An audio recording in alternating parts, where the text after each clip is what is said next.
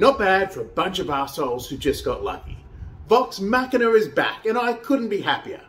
The first three episodes were just plain fun.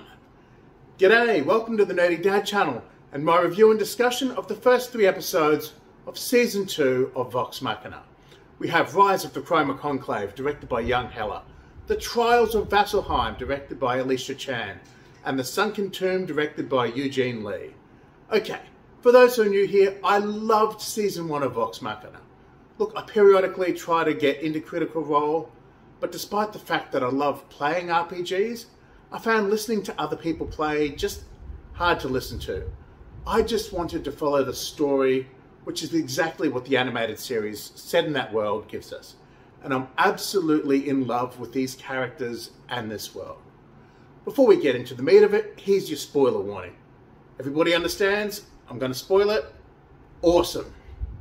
That's four ancient dragons. They are so screwed.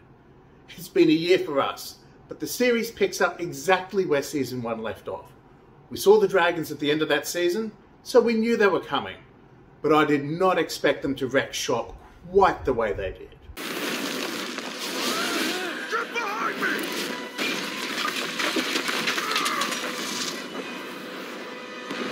I mean, holy shit. The city is, well, what city? They flattened it. All the support it looked like they'd built up at the end of last season is gone. Their fortress, gone. Their patron, gone. A lot of potential allies, gone. As far as season openings go, it's awesome. I loved watching the dragons just get to absolutely unleash. And their breath weapons are devastating. I mean, when you play a computer RPG, the dragon's breath is devastating to the party, potentially a couple of NPCs, but you don't normally get to see just what complete destruction they can cause.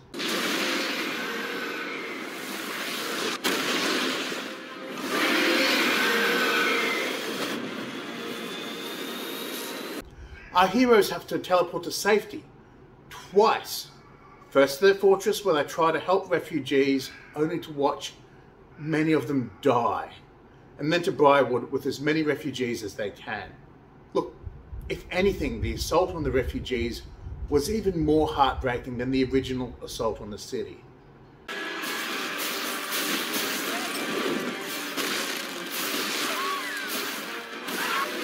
Vox Machina's defeat was pretty much as absolute as you can get.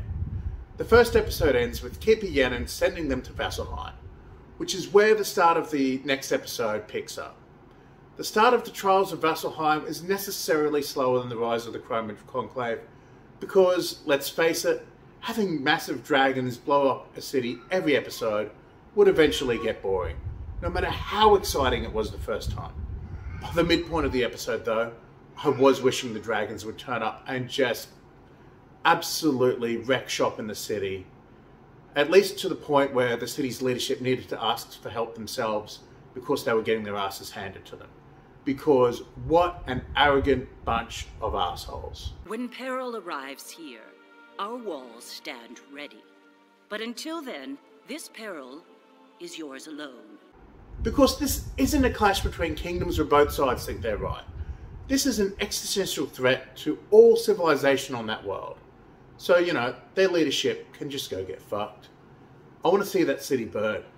I mean, the common people don't deserve it, of course, but for their leadership to not offer help of any kind is just the worst.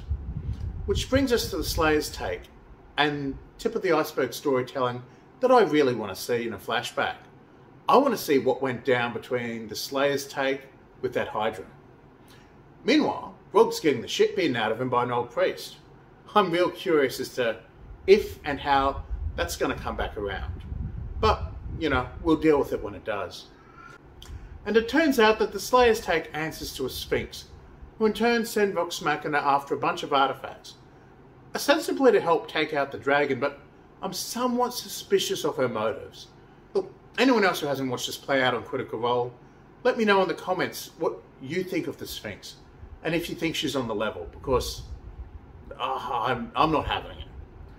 The quest from the Sphinx leads us into the third episode, The Sunken Tomb. Look, I don't know if I trust the Sphinx, but Vox Machina are joined by the bounty hunters Zahra and Kashaw, who they definitely should not trust in their hunt for the vestige of divergence. There is fun action with traps and battles with fish people. That blood drinker sword that Grog picked up from the vampires last year showed us why it's problematic.